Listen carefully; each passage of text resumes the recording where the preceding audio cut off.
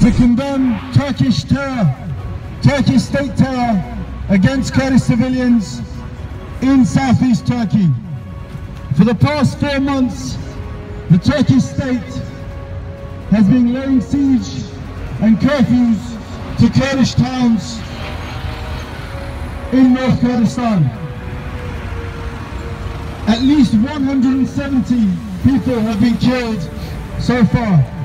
170 civilians, including children, grandmothers, grandfathers, babies, unborn babies, in their mother's wombs. We have a sitting demonstration for the next three days condemn the atrocities, the brutality of the Turkish state. If you have a few moments, come over and see some of the brutality, see some of the photos, some of the images that Turkish state terror has led to. Today, the British Foreign Minister, Philip Hammond, was in Ankara, was in Turkey, and instead of condemning Turkish state terror, he condemned the Kurdish people that are defending themselves against this terror.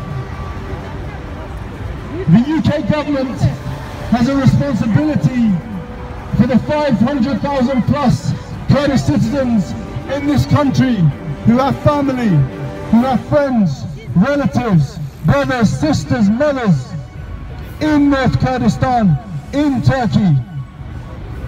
The British government, the Conservative government, MPs in Parliament, British civil society has a responsibility towards the Kurdish people who are fighting ISIS in the Middle East.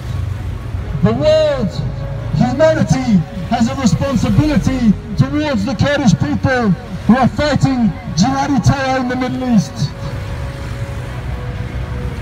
This is why we're here today. To request that you support and develop solidarity with the Kurdish people who are fighting for a free, secular, democratic future in the Middle East.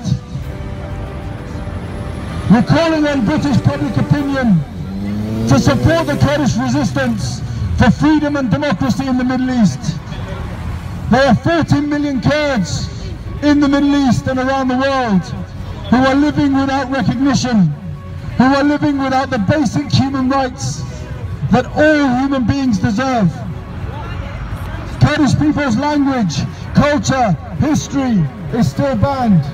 And every day they're being massacred, either by jihadi terrorist forces or the terror attacks of the Turkish state. We're calling on British public opinion.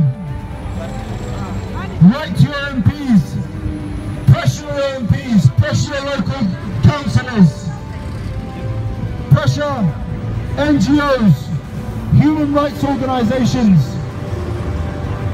raise awareness for the Kurdish people who are fighting Turkish state terror. The Turkish president, Recep Tayyip Erdogan, recently likened the system that he wants to Nazi Germany and the system that Adolf Hitler developed there before the Second World War. We are trying to prevent racist, nationalist, religious terror in Turkey and the Middle East. Just a few days ago, the President and the government declared war on all academics and intellectuals in Turkey and around the world.